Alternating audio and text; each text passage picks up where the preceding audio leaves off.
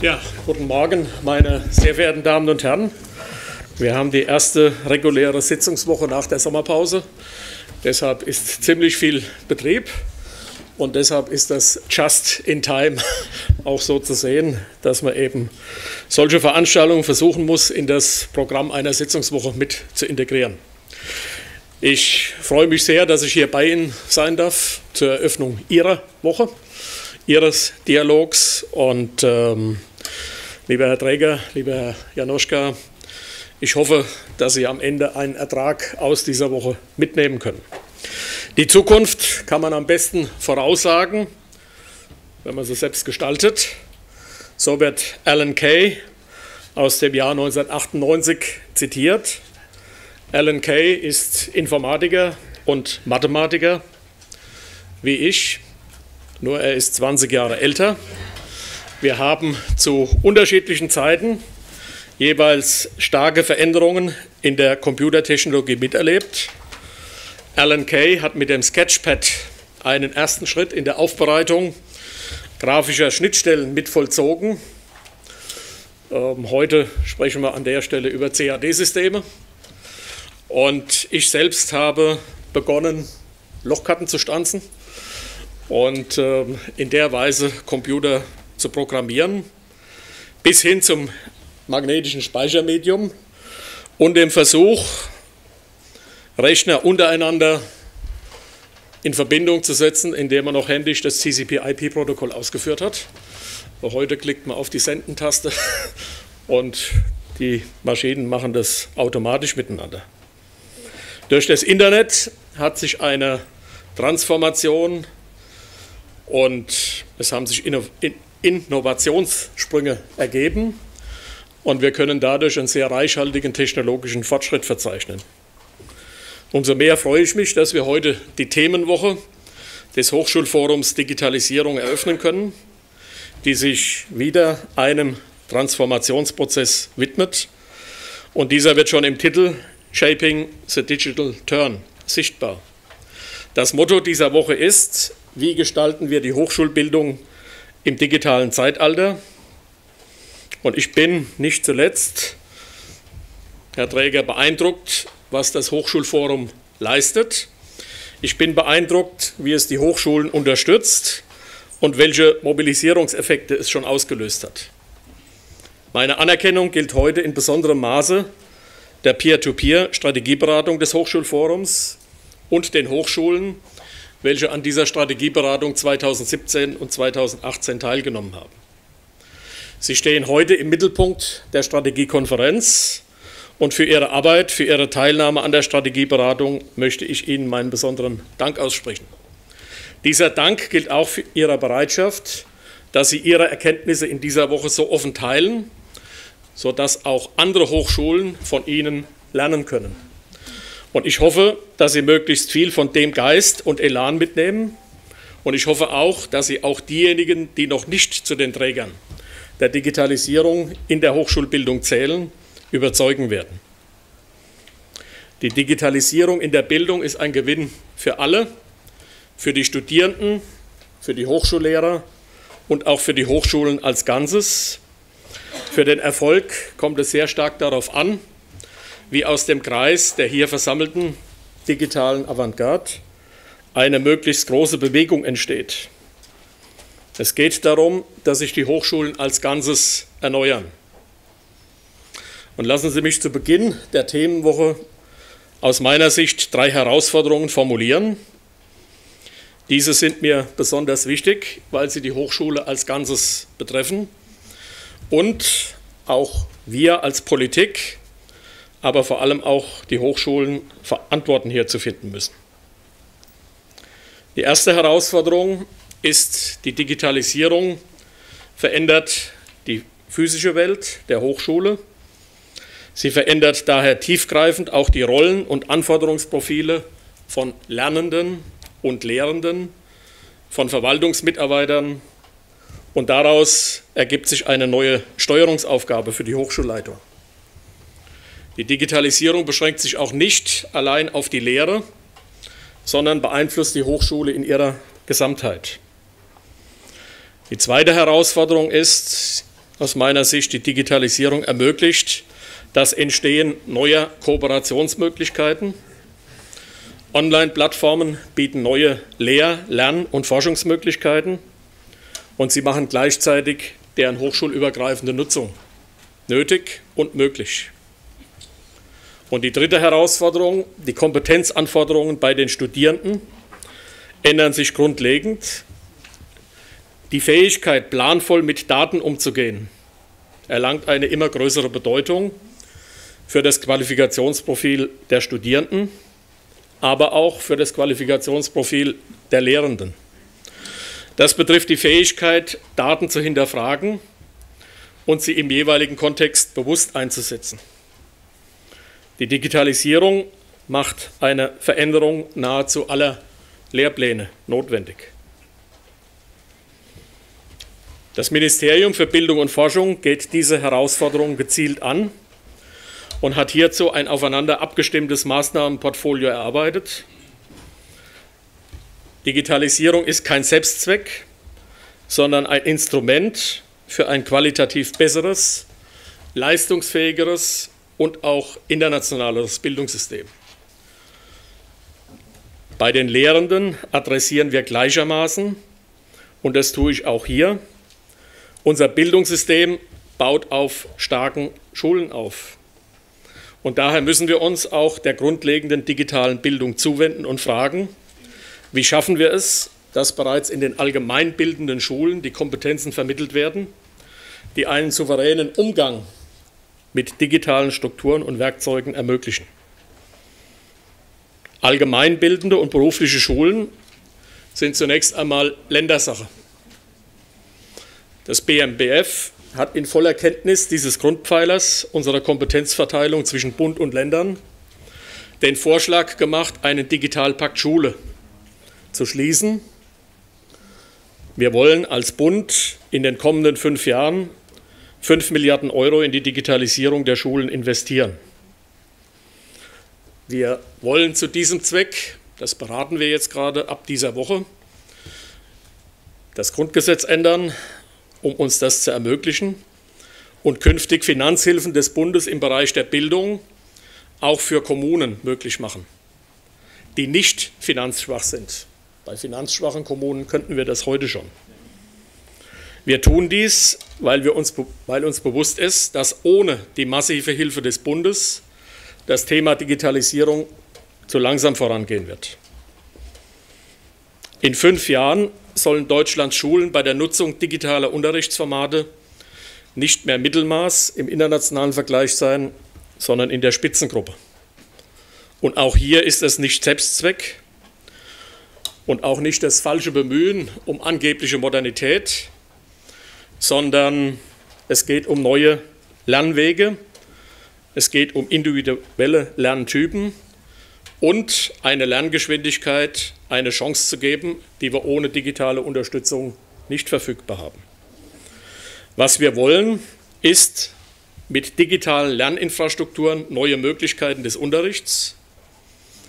Und ich möchte auch dazu sagen, weil es aus meiner Sicht eine falsche Alternative ist, Dadurch werden bewährte Formen des Unterrichts nicht in Frage gestellt, sondern wir sprechen über eine Ergänzung. Die Umsetzung des Digitalpakts Schule soll die Voraussetzungen dafür schaffen, dass an den deutschen Hochschulen künftig junge Menschen ihr Studium aufnehmen, die bereits reiche Erfahrung mit digitalen Lernumgebungen gesammelt haben, die digitale Inhalte bewerten und für sich nutzbar machen können, die Lernstrategien nicht erst entwickeln müssen, sondern bereits für ihr Studium mitbringen. Das alles wird nicht schon zum nächsten Wintersemester spürbar sein, aber am Beispiel Digitalpakt Schule wird deutlich, dass wir die Zusammenarbeit von staatlichen Ebenen und unterschiedlichen Akteuren neu denken müssen, um weit gesteckte Ziele zu erreichen. Die Anträge für die Investitionen in den Digitalpakt müssen die Kommunen stellen als Schulträger. Die Lehrpläne und die Ausbildung der Lehrer müssen die Länder leisten. Und die Investition ist eine Aufgabe, an der wir uns beteiligen. Also alle drei Ebenen sind an dieser Stelle beteiligt. Und ich will ausdrücklich sagen, das ist mir wichtig, wir wollen dabei nicht die grundlegende Verfassung unseres föderalen Staatswesens infrage stellen. Bei der Gestaltung des digitalen Wandels des Hochschulsystems fangen wir als Bildungs- und Forschungsministerium auch nicht bei Null an. Mit dem Qualitätspakt Lehre haben wir bereits 2011 einen wichtigen Impuls für eine bessere Hochschullehre und für digital gestütztes Lehren und Lernen gesetzt. Weit über 50 Prozent der Vorhaben der ersten Förderperiode setzen entsprechende Maßnahmen um. Sie drehen sich um die Frage Prüfungen, E-Learning und Blended Learning. In der zweiten Förderperiode rückt die Digitalisierung noch stärker in den Fokus. Und ich appelliere an die Hochschulen, nutzen Sie die Erfahrungen in anderen, digital bisher weniger geprägten Bereichen. Das kann die Lehre insgesamt verbessern und die Attraktivität deutscher Hochschulen auch international steigern. Ebenfalls seit 2011 fördern wir mit dem Wettbewerb Aufstieg durch Bildung offene Hochschulen die wissenschaftliche Weiterbildung. Dabei stellen wir fest, die Hochschulen sind nicht Getriebene, sondern Treiber der Digitalisierung. Denn die besonderen Zielgruppen wissenschaftlicher Bildung, insbesondere Berufstätige, benötigen zeitlich und örtlich flexible Angebote. Jenseits des Wettbewerbs kommen die Hochschulen ihrer Verantwortung im Bereich der wissenschaftlichen Weiterbildung leider noch nicht ausreichend nach. Dies hat die Bundesregierung im Blick und deshalb haben wir im Koalitionsvertrag vereinbart, Hochschulen beim Ausbau ihrer Weiterbildungsangebote zu unterstützen. Doch nicht nur in der Lehre, auch in der Forschung unterstützt das Bildungs- und Forschungsministerium die Hochschulen. Im Zuge des digitalen Wandels fallen in der Wissenschaft große Mengen an digitalen Daten an. Und für den Umgang mit diesen Forschungsdaten gibt es noch keine etablierten Vorgehensweisen. Darum fördern wir verschiedene Maßnahmen zum Forschungsdatenmanagement an den Hochschulen. Mit der nationalen Forschungsdateninfrastruktur wollen wir die heute oftmals dezentral und temporär gelagerten Datenbestände systematisch erschließen. Zentrales Ziel ist die Etablierung eines übergreifenden Forschungsdatenmanagements. Die nationale Forschungsdateninfrastruktur wendet sich ausdrücklich auch an Hochschulen, die wir beim standardisierten Umgang mit Forschungsdaten unterstützen wollen. Exzellente Forschung ist nur möglich, wenn die digitale Forschungsinfrastruktur an die künftigen Anforderungen angepasst wird und den stark steigenden Bedürfnissen nach Rechenkapazität gerecht wird. Gemeinsam mit den Ländern arbeitet mein Ministerium daran, einen zukunftsfähigen Verbund von Hochleistungsrechnern an Hochschulen zu etablieren. Ziel ist es, deutschlandweit ein zugängliches, anwenderorientiertes Netzwerk mit Hochleistungsrechnern einzurichten. Und auch beim Thema Open Access spielen die Hochschulen eine wichtige Rolle. Schon früh in der wissenschaftlichen Karriere muss ein Bewusstsein für die Bedeutung qualitätsgesicherter, alternativer Publikationsmodelle geschaffen werden. Denn mit Open Access können wissenschaftliche Erkenntnisse der Allgemeinheit besser zugänglich gemacht werden. Das BMBF fördert den Übergang zu Open Access auch im Hochschulsystem mit verschiedenen Projekten. Die Hochschulen sind dabei Keimzelle, um Open Access in der Breite der deutschen Wissenschaftslandschaft zu verankern. Hier passiert schon sehr viel und ich sage Ihnen einfach, machen Sie weiter an der Stelle. Das ist aus meiner Sicht politisch auch ein eminent wichtiger Punkt, weil es in der Politik durchaus den einen oder anderen gibt, der die Frage wissenschaftlicher Erkenntnisse in Frage stellt. Und umgekehrt muss man sehen, wenn man die aktuelle Diskussion über Publikationen sieht, dass sie alle einen Beitrag dazu leisten sollten, dass man sich auf wissenschaftliche Publikationen tatsächlich verlassen kann.